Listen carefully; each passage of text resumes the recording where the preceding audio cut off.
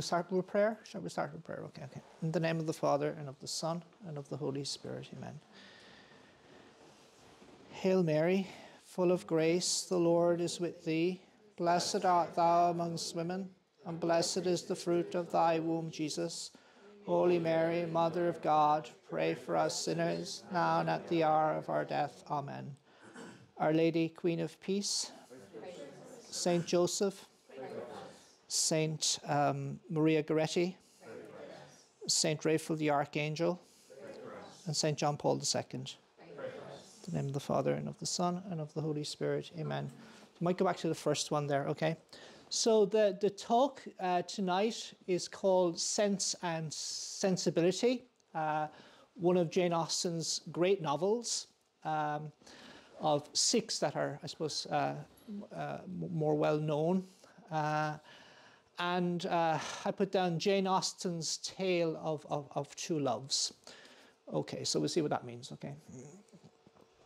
So the characters, um, the heroines, if you want to call that, in, in the novel, are two sisters, or the main characters are two sisters, Eleanor, uh, 19, okay, and her younger sister, uh, Marianne, we'll meet in a, in a minute, uh, 16, okay. Uh, they've different personalities, they're alike in some ways, but they diverge in other ways. And that's what's interesting. You know, it's the divergence that's kind of interesting about it, and, and, and being human, that would whatever. Okay, so this is a kind of a, a character description of Eleanor. Okay, she's played by Emma Thompson in, in the great movie about this. Okay, Eleanor, this eldest daughter, whose advice was so effectual, possessed a strength of understanding and coolness of judgment which qualified her, though only 19, to be the counselor of her mother, and enabled her frequently to counteract, to the advantage of them all, that eagerness of mind in Mrs. Dashwood, her mother, which must generally have led to imprudence. Okay, so she's a mother to her mother, even at 19. Okay, she's more cool, qualified, reserved in a sense. Okay, uh, she had an excellent heart. Her disposition was affectionate, and her feelings were strong, but she knew how to govern them. It was a knowledge which her mother had yet to learn, and which one of her sisters had resolved never to be taught. Um, I think this is a little, well, you know, again, that's more about her, okay? She's more rounded than we think, okay?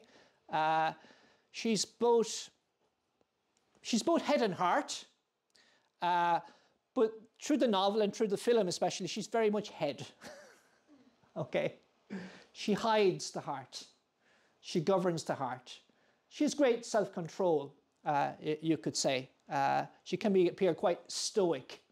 She doesn't reveal her feelings. Okay, you don't see her heart. Okay. Um, this is, I think, more a comment of, of Jane Austen's. This is what we say or think that defines us, but what we do. Okay, so what, what forges our character, what makes us the persons that we are, uh, what we do, our actions. Okay, just again. Okay, so the other sister, uh, I say Marianne's joie de vivre, her, her joy in living, at 16. Uh, Kate Winslet, okay, was the actress who played in, in, in, in the film. So Marianne's abilities were, in many respects, quite equal to Eleanor's. Uh, she was sensible and clever, but eager in everything. Her sorrows, her joys could have no moderation. She was generous, amiable, interesting. She was everything but prudent. Uh, the resemblance between her and her mother was strikingly great. Okay, and see the divergence.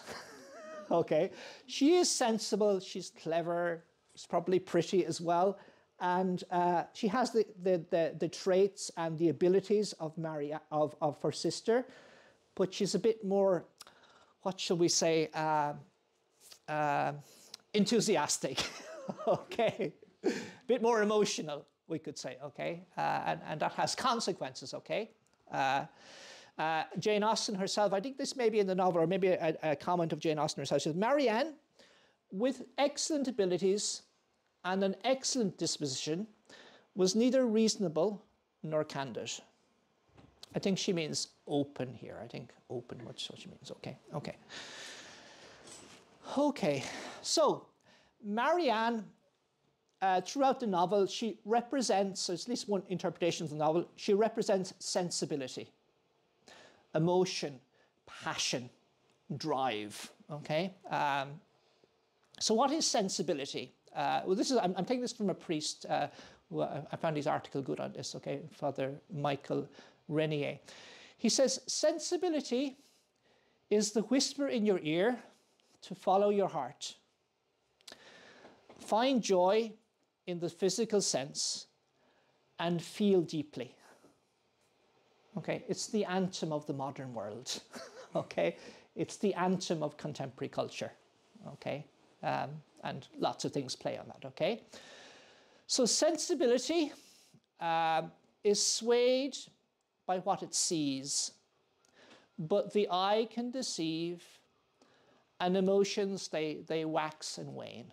Okay, he says. Okay, so Marianne, she kind of falls headlong for Mr. Willoughby. He's very dashing. He's very charming. He's very handsome. He's um, everything she looked for. He's the perfect match. Okay, he's the perfect character. Uh, but we don't know a great deal about him. Okay, that's that, that's one thing we get to know. Okay, so this is what this is Marianne, her reaction to when Willoughby, Mr. Willoughby, was present. Okay, when he was present, she had no eyes for anyone else. Everything he did was right. Everything he, he said was clever. Okay, so she's a bit caught up, okay, a bit trapped in this kind of vision of, of, of Mr. Mr. Willoughby, okay? And he also, he is quite charming. Uh, he knew how to play it up a bit. Uh, I think the time he brings her in from the rain and he, he she hurt her foot and he, he carries her uh, back. Uh, he then made a kind of a, an exit. He said, he then departed to make himself still more interesting okay, in the midst of a heavy rain. Okay, so he's, he's, uh, he doesn't know how to play it up as well, okay? A mystique, a charm, a, a personality, okay? A hero, okay? The hero has emerged, okay? Because uh, he saved her when she hurt her ankle, okay? And that, that was nice of him, okay? okay. Now, little things in Jane Austen, you see, little things grow into bigger things, okay? Little things turn uh, the heel of life. okay, so be careful, okay? Even if you hurt your ankle, it could be the, the turning part of your life, okay? So careful. Okay, so Eleanor is different, okay? Ellen, Eleanor represents good sense, uh, logic, the governance of reason, okay? Calmness, good judgment, okay? Not feelings, okay? Uh, so this is what uh, Father Rennier says about um, uh, about Eleanor, in a sense. He says, Good sense chooses the steady partner over the handsome flirt, the person who is faithful over the one who makes your heart tingle. Okay? Um, he says, Sense, typified in Eleanor Dashwood, chooses what the mind says is reasonable in spite of feelings. Okay, it's able to rise above feeling. It's not guided, it's not navigated by feeling. Okay, that thrust of emotion. Okay, and that's interesting. Okay, so this is what sense, and this is the way. I mean, this is the way Eleanor behaves. You know, mostly. Okay, uh, she has strong character. She was stronger alone. Uh, Jane Austen says, and her good sense so well supported her. Okay, she strength, endurance, uh, capability. Now, in the film, um, Edward, okay, the one Mary, uh, Eleanor kind of is attracted to and I suppose falls in love with and well, in, falls in love with in a kind of a different way, in a more reserved way, in a concealed way, in a way she doesn't really openly uh, display, uh, is played by Hugh Grant, okay? Yeah. Now, he's quite handsome, okay? But the, uh, okay. Now, in, in, okay, the girls agree, okay, okay. In, um, in the in the novel, I don't think it's that way. Okay, he's not really that attractive. He's not dashing and handsome and a big knight and hero. Okay, he's actually plain, and his personality is very plain. He's really not the light of the party. Okay, but Eleanor kind of reasons her way into a relationship with him, okay? And they get attached to each other in some way. But it's not, it's nothing's ever said. It's never, it's never admitted, okay? It's never admitted. So that's the whole thing, okay? So there's kind of wall there at the same time, okay? And the drama builds up in the whole book because we don't know what's going to happen. We don't know what Edward thinks. We don't always know perhaps what what what what Eleanor is is thinking either, okay? So why why was she attracted to to um to uh, Edward, okay? His mind is well informed his enjoyment of books exceedingly great, his imagination lively, his observation just and correct, and his taste delicate and pure. He's a gentleman, he has fine manners, he won't overwhelm you, he won't, uh, he won't take you off your feet, okay?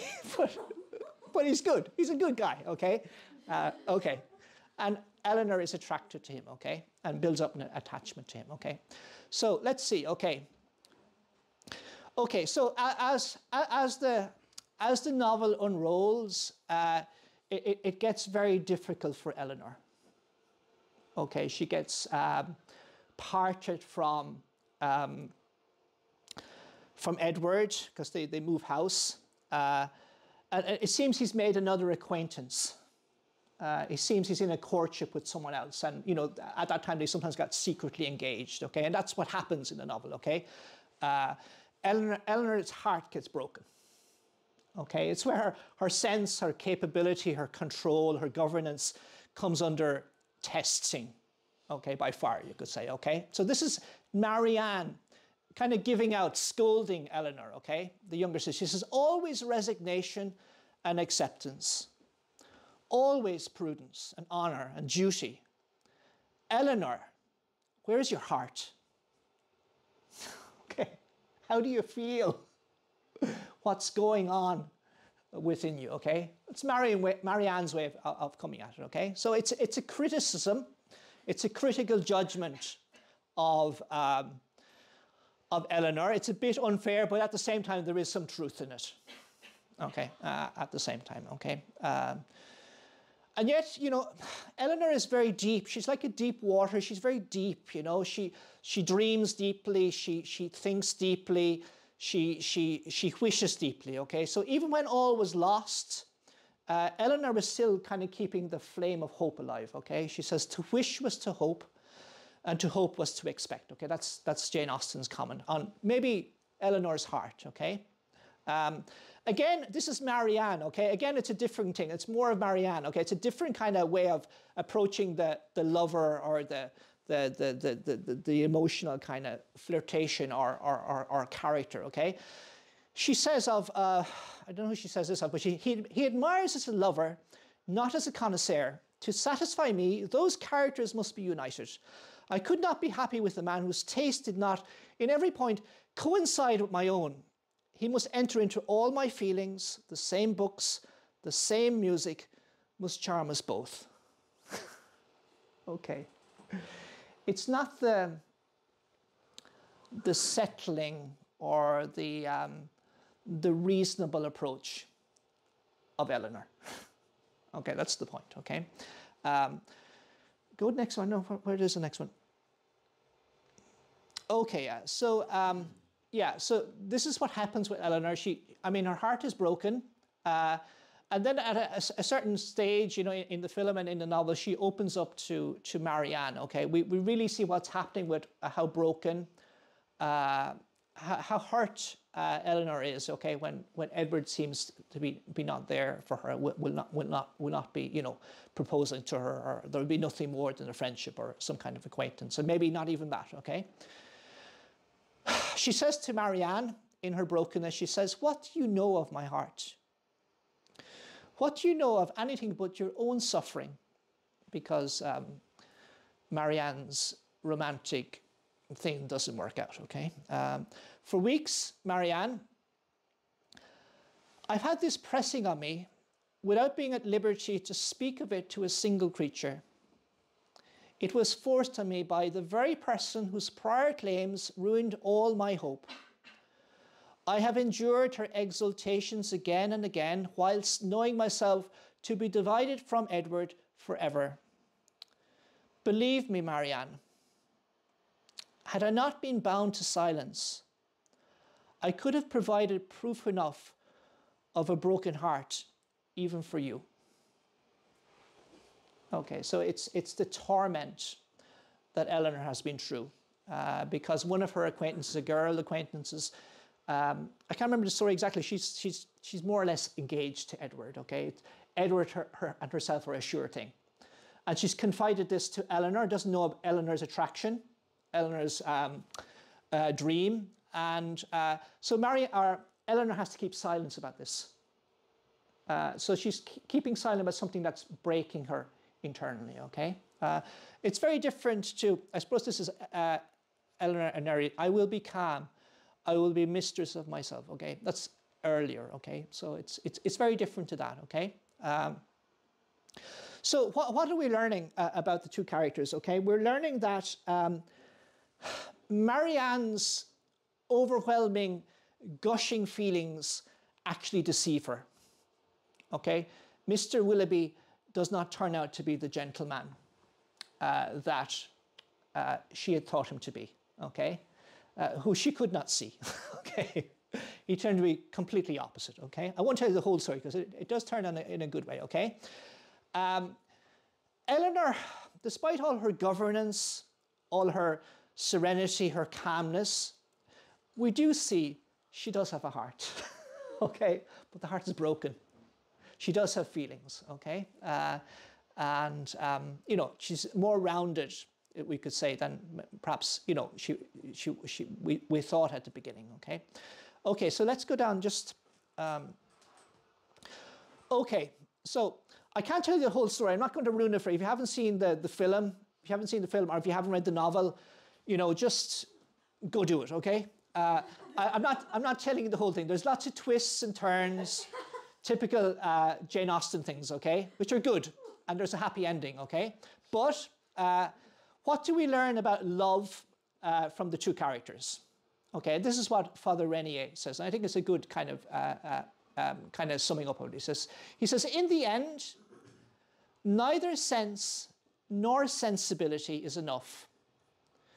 We can't simply reason our way into loving someone. And neither is it healthy to chase every emotional attraction with no further thought. Okay, Marianne, okay? Um, Eleanor and Marianne learned the lesson that neither extreme, that either extreme will limit love and eventually kill it. Uh, there is no method.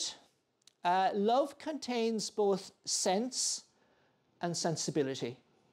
Um, both the spark of romance and the reasonable, faithful commitment that carries a couple through hard times.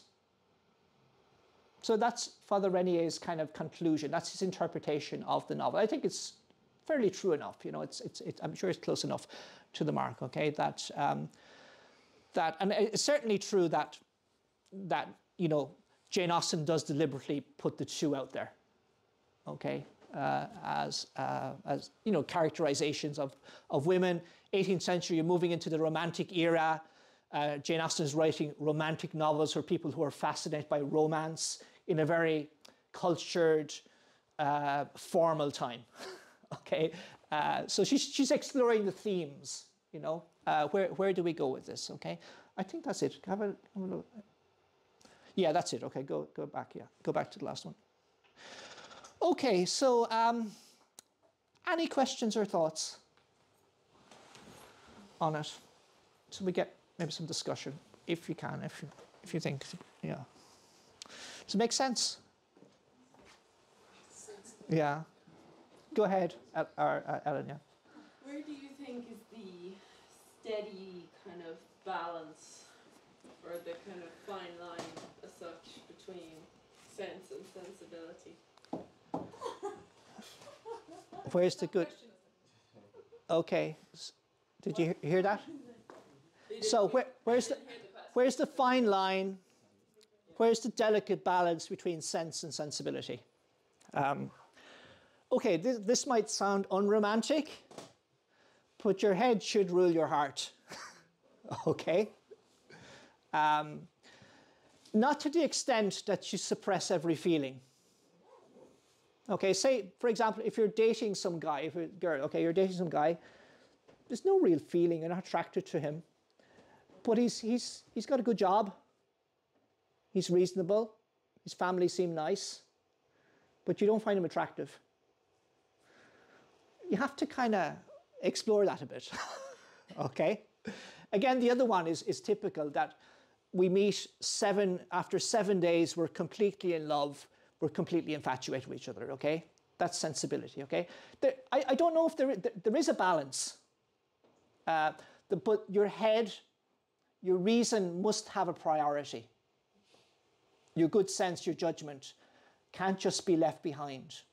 Uh, at the same time, if you're compatible with someone, uh, if there is a good relationship, it's, it's not unusual that the, the emotions t- intensify.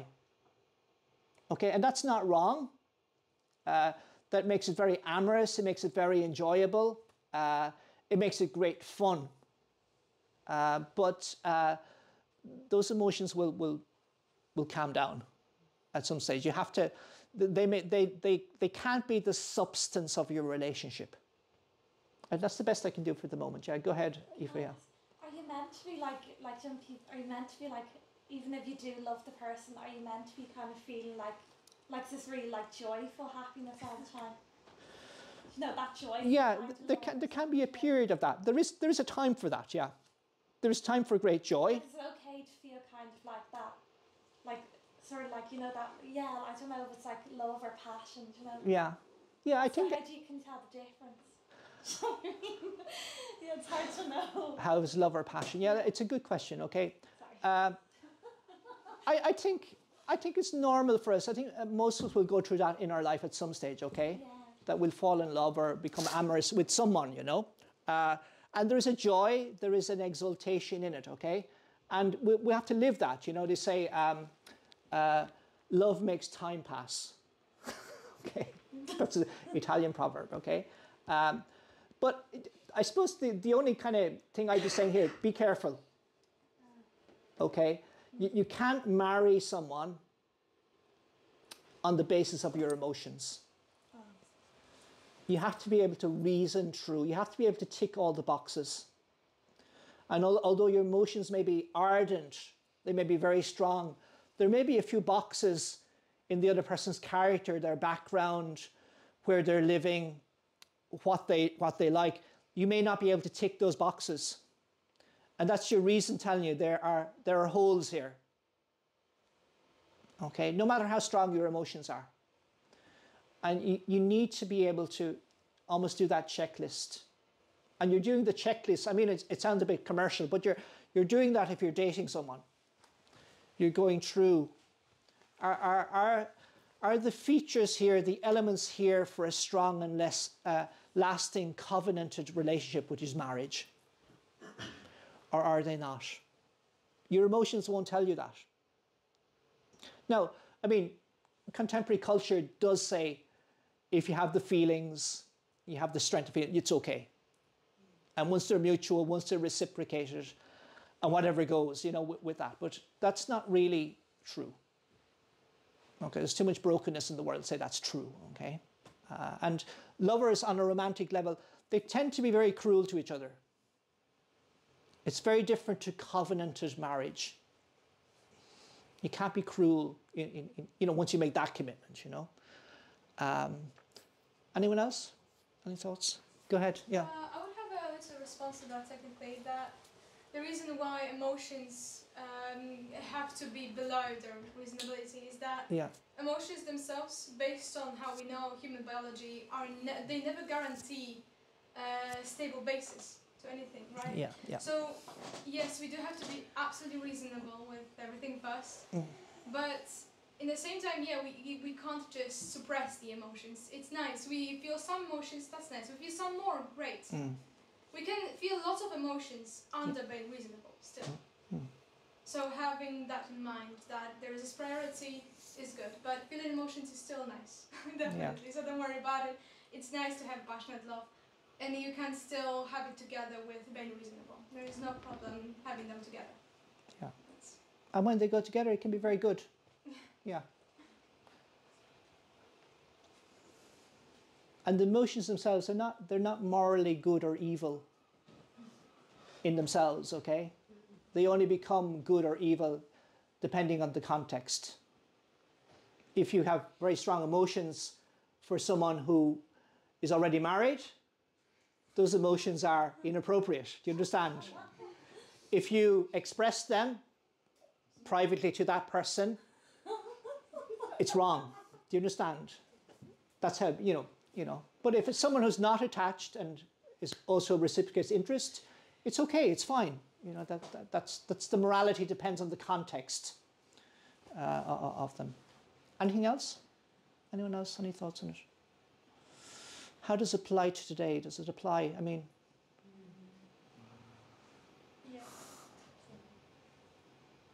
Is it only about girls? I don't know. I mean, I'm, I'm told that men like Jane Austen as well, you know? Uh, what can you learn from it?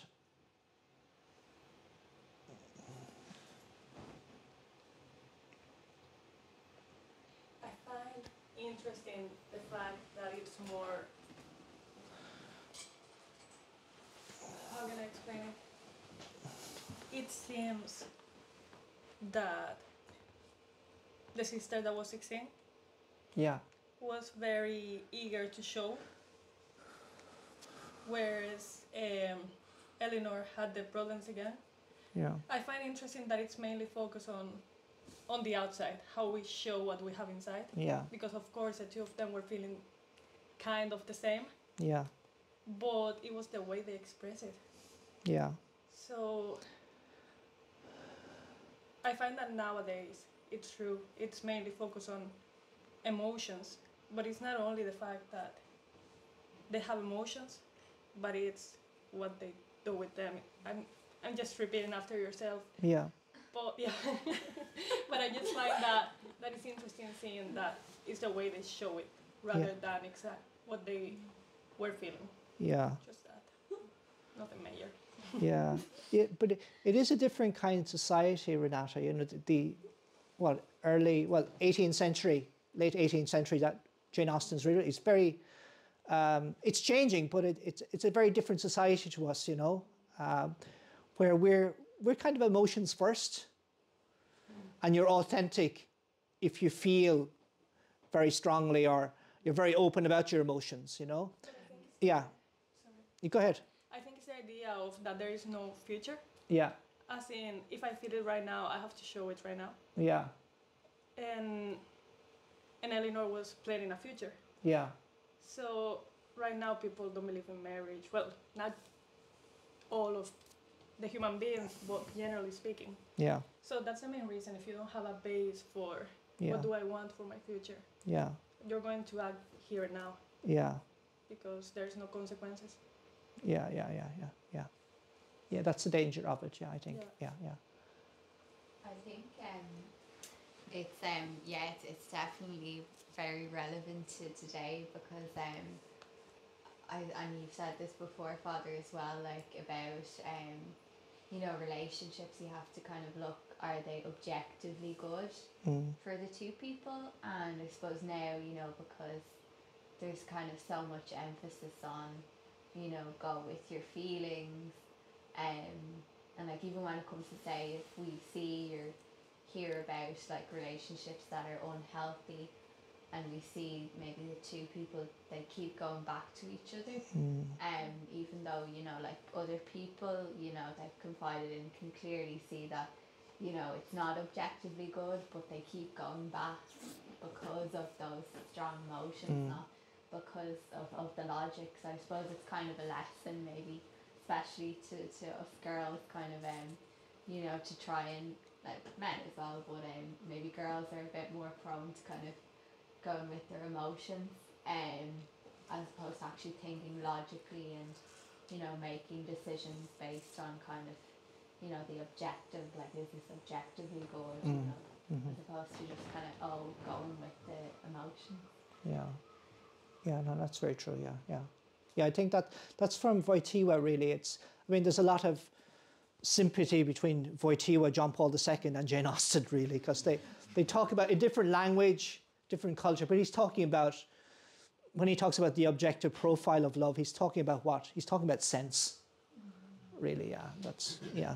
So um yeah. But it's just so unromantic to talk about your, your objective love, you know. but that's what it is. It's your reason, uh, tip, uh, tapping into it, judging it. Yeah, and it has to, it has to be guided that way, you know. Because I think it's maybe it's easy for us to see so people who aren't in the relationship we, we're kind of thinking you know like how how keep come she keeps or he keeps going back to you know him Yeah. or her like clearly there's a lot you know we kind of see it but then it's easy to say when you're not in the relationship it's easy Yeah. to see when you're objective like you're looking at it through an objective lens Yeah, whereas if you're caught up in the middle you know you're caught up in the emotions and that's subjective yeah. And at the other level, I would say, and I think reading the theology of the body of John Paul II, like he does say that throughout marriage there will be expressions of love that won't be they won't be sexual expressions, but there'll be expressions, say, of affection. Uh, there'll be emotional uh, development. So there'll be there'll be signs of emotions in a very healthy relationship. Like there will be emotions there. It won't be just wooden, you know. And uh, so just I mean, not to say that emotions have to be suppressed all the time. just just they're integrated. I mean, it's trying to integrate sense and sensibility. That's the whole thing. It's integration is the key. You know, it's not easy. You know, uh, I don't think. You know, so. Anyone else? Your thoughts? One last thought. So would you say there's a sort of false dichotomy between the two? Um, if, if you're talking about, let's say you've just alluded to um, integrating sense and sensibility. So they're really, it's not a duality the same way the title suggests, uh, and the, the same way the two sisters in their different personalities might suggest. Um, Yeah, yeah. maybe maybe you're talking about well more so in Marianne, but maybe in both there's a non-integration. Maybe, maybe, yeah. Certainly in Marianne, you know. Um, um, Yeah. I, I, I don't know, is, is, is, is in Elinor a very reserved, non emotional, non expressive love? Is it actually going to work? You know, and there have been societies that have that, you know, have a non expressive, non emotional uh, uh, approach to love, okay? Very formal, very rigid. Uh, and perhaps that's what Jane Austen is, is getting at. She's, she's kind of criticizing that just a little bit, okay? Just saying, okay, that that that, uh, and at the same time, she's not foolish. She doesn't believe in sensibility, unbridled sensibility, you know. And Jane, that's well, it's an actress, but that's meant to be Jane Austen. But she she she did fall. She was disappointed in love herself. She knew she what she was writing about. She understood, and it was through formal arrangements with marriage that the the person she fell in love with wasn't suitable. I think the, the family objected. They were they were parted, you know. So she she had all the heartbreak and she she lived it as well. Yeah. So um, yeah, there's not a dichotomy. You're trying to get both. I think that's the Catholic the Catholic approach. Is you, you're trying to get it all. Uh, it's never just one aspect, and that's very difficult. Yeah, that's very difficult. Okay. Okay, we'll leave there. Okay, have enough.